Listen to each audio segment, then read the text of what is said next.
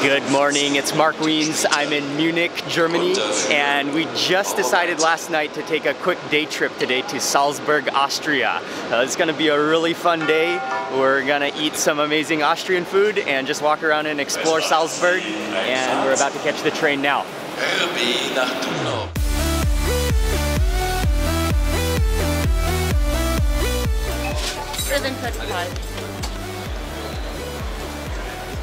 When you take the train in Germany, uh, you can pre-book your tickets online. So I already booked the ticket and then you can get a digital mobile ticket. All you do is show up at the train station, you jump on your train, and then they yeah they check your ticket once you are in the train and we have about 15 minutes until our train leaves. I just want to quickly say a big thank you to 23andMe for sponsoring me to come on this trip. I took a DNA test, I figured out my ancestry and I traveled to this region of Europe to discover the food and I'm excited to be here. And right now 23andMe is hosting the Golden 23 Sweepstakes where you have a chance to win a trip to a destination of your ancestry. The link is in the description box below. Check it out for all the details. And we are getting ready to leave now to Salzburg. And we're boarded into the train. And this train actually goes all the way to Budapest in Hungary. Uh, but it should be about a one, I think about a one and a half hour ride to get to Salzburg.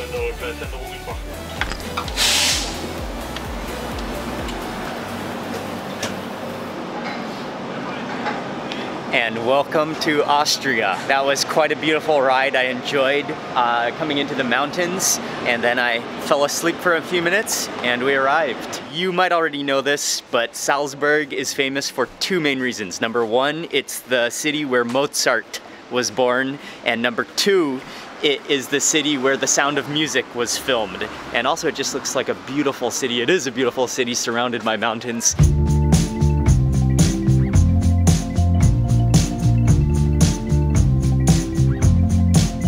One of the famous places to visit in Salzburg is the Mirabell Gardens and Palace. And so we've, we just walked here. It's on the way to the old city. We're gonna stop here first. Oh, oh wow, Ying. Yeah, look at all the flowers.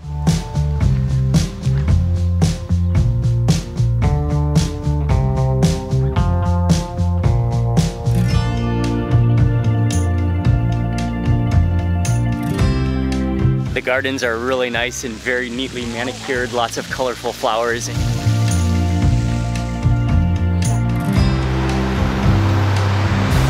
We're walking across the bridge, across the river. Wow, it is pretty picturesque. And on our way to go eat lunch.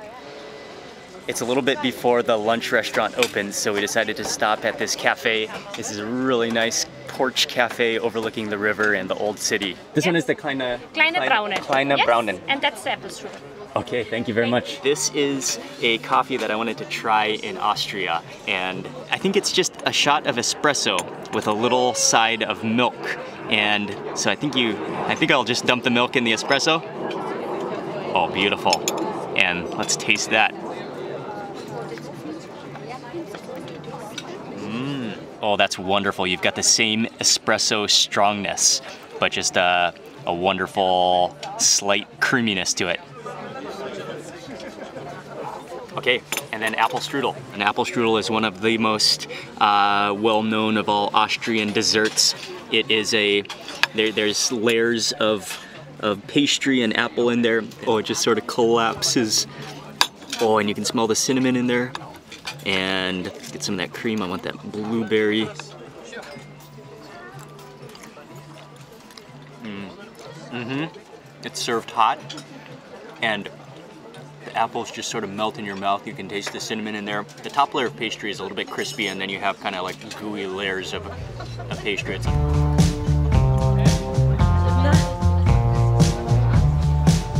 That's amazing. Coffee was good and that's really kind of like a arty coffee shop where you go to relax and enjoy the view. It's very relaxing, but I am very ready for some bigger and better food.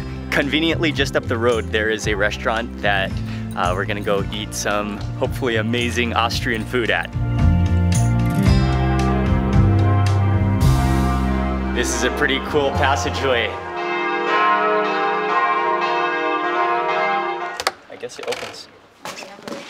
I love the wood furnishings on the inside. They have a nice indoor section and we got a table with a view to the window to the mountains and then they also have a nice patio outside. The menu is full of classic Austrian dishes as well as some local specialties and just ordered a, a bunch of food including an interesting soup that I'm gonna try first that I can't wait to try. This is something I can say I never have had before. This is gonna be my first time. Frothed beer soup and then it's served in a beer mug. And then you can see there's croutons on top as well as green onions. And then it is you can see all that froth on top as well. My first time for froth. Whoa that's foamy.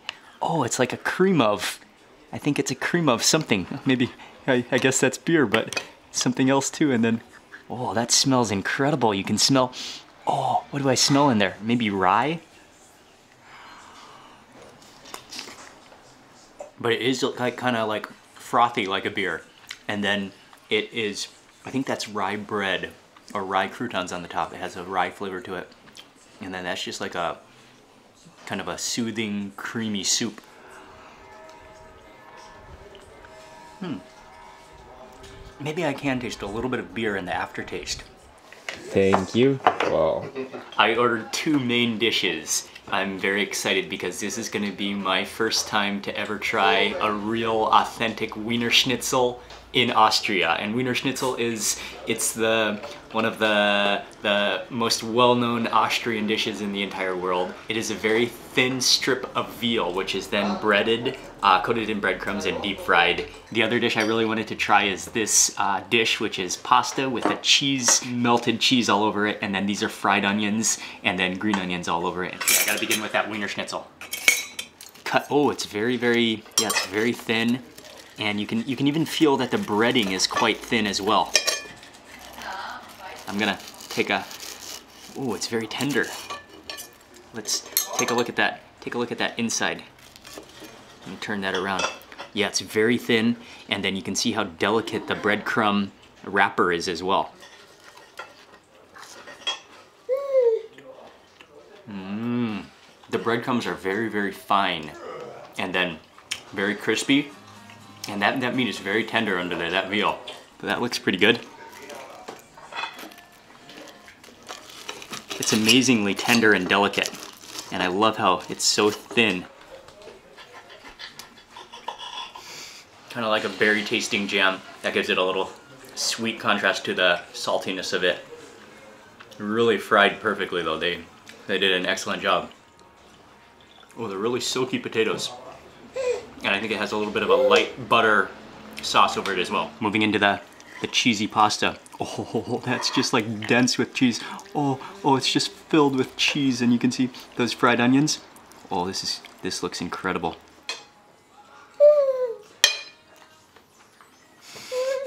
That is a cheese lover's dream. It's so creamy with cheese. And then you've got that extra dimension of the fried edge as well as those fried onions, which which take it to the next level. Oh, it's just like so sticky. There's so much cheese in there. Those fried onions uh, on there really, really make the difference. I would add a few more handfuls of fried onions on there if I could. Thank you. Thank you. Have a good day. Lunch is over. That was really good food. The cheesy noodles, Austrian cheesy noodles, that was, that was delicious. We're now walking down the street on our way to Old Town and gonna just explore Old Town for a while now.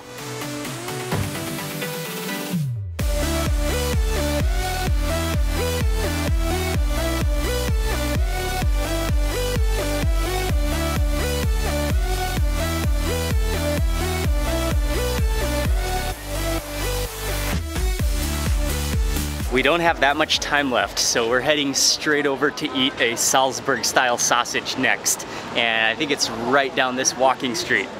Okay, here it is. It's called the Balkan Grill, and there is a, a long line, so I'm gonna wait it out. Smell, you can you can smell the, the grilling sausage throughout this entire uh, passageway. Ying went off to go walk around and do some shopping. Micah and I are gonna hang out in the line and wait for the sausage.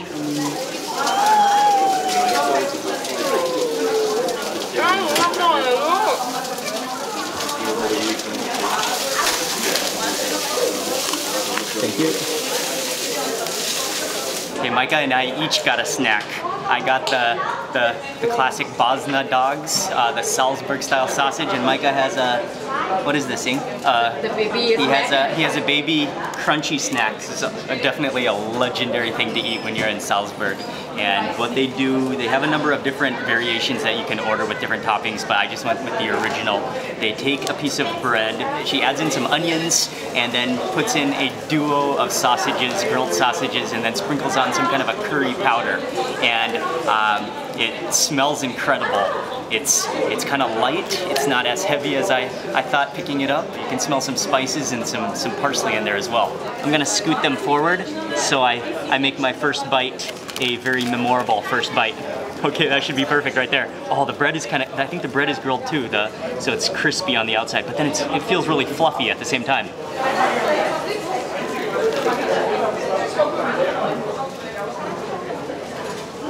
Oh yeah. Oh, they're piping hot. Oh, that is excellent though. The sausage is just perfectly salty, and then it has that wonderful grilled flavor to it. You can taste that curry powder, uh, which is also tastes kind of salty as well, and then just with onions in there, and then yeah, that bread. That bread is really good. It's it's you get, it's got that, those grill marks on it. It's crispy, but then it's fluffy on the inside. It's really light.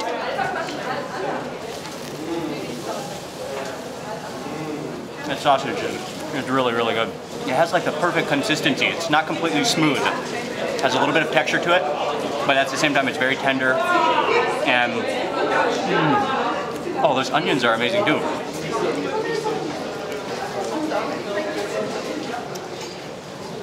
Mm. My God, how's that snack down there?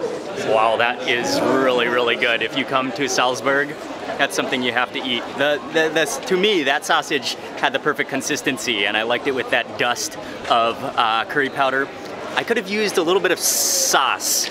Um, there wasn't any sauce on it. Maybe some mustard would have been. I would have liked some mustard. A little bit of sauce on it would have. It was the only thing. But those sausages were amazing. Unfortunately, time goes by really, really fast when you're just walking around and waiting for food. So we're actually almost out of time because there's still one more legendary restaurant in Salzburg that I gotta try before leaving. So I think we're just gonna quickly walk around Old Town and then head back to the to one final legendary restaurant in Salzburg before we head out. The Old Town of Salzburg, it is very tourism driven. There are lots of people here, uh, but at the same time it's very scenic. It's really a nice place to walk around. I wish we had more time to explore and see some of the attractions. Oh, and if you come here, you can take a horse as well, a horse carriage.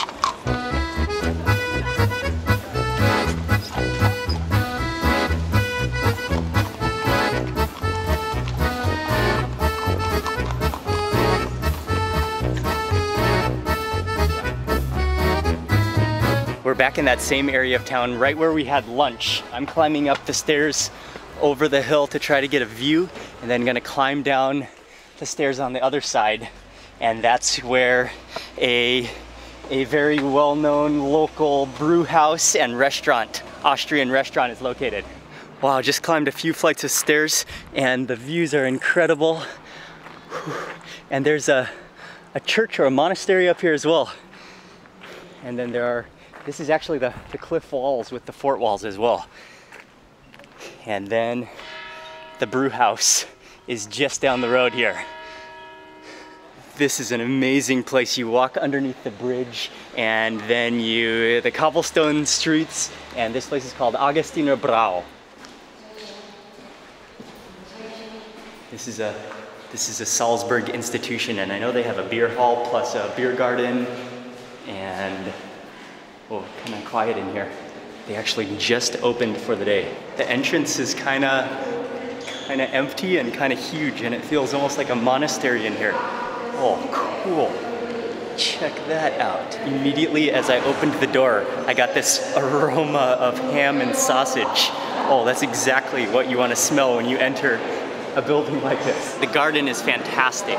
They have a bunch of tables set up under the trees. You get drinks, and then they have food stalls all around, so you just get whatever you want. It's all self-service. You go sit down. We need a beverage. Uh, this is really awesome. You grab your own cup. So I got the half liter, and they also have liter cups. Sorry. And you, then you you come over here, and you think you're supposed to wash off your cup. Wash off your cup. And by the way, Micah is having his afternoon nap, and then you get back in the line.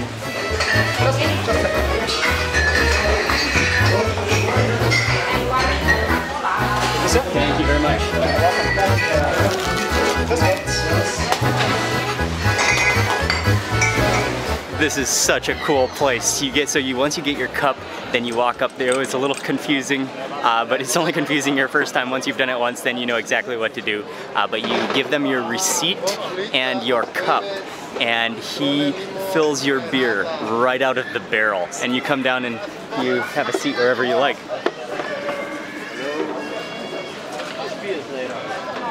Wow. Oh, it's really, really frothy. It's crisp. It's cool, like perfectly cool. You, you, can actually taste it's right out of the barrel. Oh, that's fantastic. And now I'm gonna go get some food real fast. Yeah, let's get some. Magst du Kartoffelspalten dazu oder irgendwas? Äh, zweimal einen Ofenkartoffel dazu. Ja, gern. One sausage, one ribs. One sausage, one ribs, Yeah, and one potatoes. Yeah, sure. No. Here, uh, my special hot sauce. Yes, please. Thank you very much. This is for cleaning up the hands after. Okay, thanks. Hey, hey Micah. Micah woke up from his nap and we just got some ribs and sausage. Second? Okay, Yeah. yes please. And also I just saw the fish stall, had to get a grilled fish. Okay, this tray is full. It's time to go back to the table. All right, we got some food. There's all sorts of things that you can choose from. And actually, as I was just walking around, I saw a lady with a whole plate of ribs. And that's why I said I have to have the ribs because the ribs look fantastic. And it's a little smokehouse. He, he looks like he, he is passionate about smoking and grilling meat. And then there's another plate I got with a sausage, which is a, a really plump, juicy looking sausage. And I got a side of potatoes. He served that with mustard and a side of some kind of creamy sauce. Let's unwrap this fish. Oh, it's so hot right off the grill.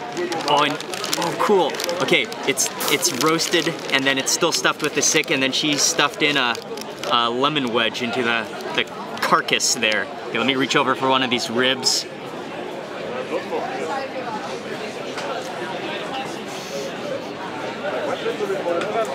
Oh yeah, that is so tender. It is kind of oily and creamy. And just a one bite. Oh, that sauce is good. It's kind of more sweet than spicy, but it sort of has like a, a little bit of zing to it. Time to try this sausage. And it was a pretty good sized sausage. It would have taken up the entire length of the plate, but he chopped it into pieces. You can see how how plump and juicy this sausage is gonna be. Oh, and I can smell, that's the, that's the good hot mustard.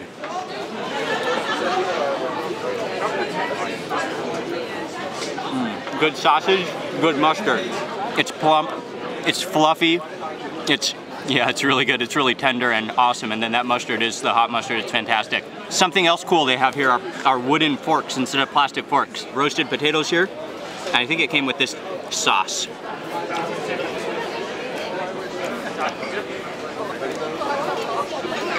It's a really creamy, really rich sauce with some herb in there. I think it's I think it's uh, rosemary. Let me remove this wedge of lemon in there, and I'll just start from the side here.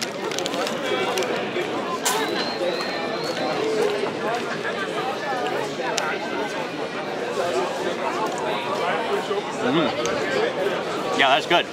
Uh, it's just plain fish. It tastes like it's been salted, and you can taste the smokiness of it as well. It would be really good with that lemon.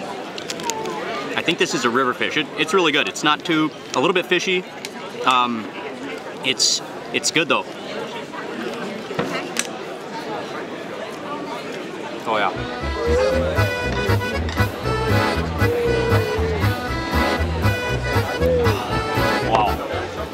Good food, good, really good beer, uh, fantastic atmosphere.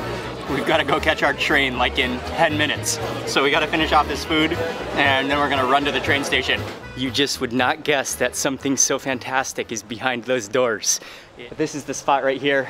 Really cool place. And we really need to get to the train station fast now.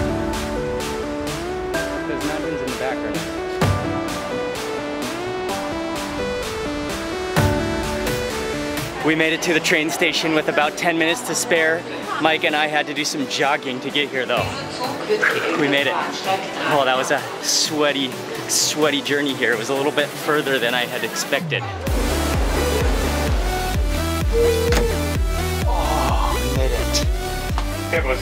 Des Eurocities der Deutschen Bahn auf den Weg nach Saarbrücken und das Ganze über Rosenheim, München. That was a really fun day trip. Actually, it wasn't even a full day. It was only like we got there at 9 and left at 4. It was only 7 hours in total. Just an introduction to Austrian food and just an introduction to Salzburg. And honestly, it wasn't enough time. I would have loved to have a couple more days there to explore. Uh, but it was, uh, it was a fun trip. I want to say a big thank you to 23andMe for sponsoring this video. I took a DNA test and then I traveled to Germany and this and Austria to this region. I'll leave 23andMe their link in the description box below so you can check them out for more details. And I want to say a big thank you for watching this video. I will leave all of the information about all the restaurants we ate at in the description box below. And if you have a chance to visit Salzburg, it's a great little city to walk around and explore. Thank you for watching. Uh, please remember to give this video a thumbs up. I'd love to hear from you in the comments section below. And if you're not already subscribed, click subscribe now for lots more food and travel videos. Thanks again for watching and I'll see you on the next video.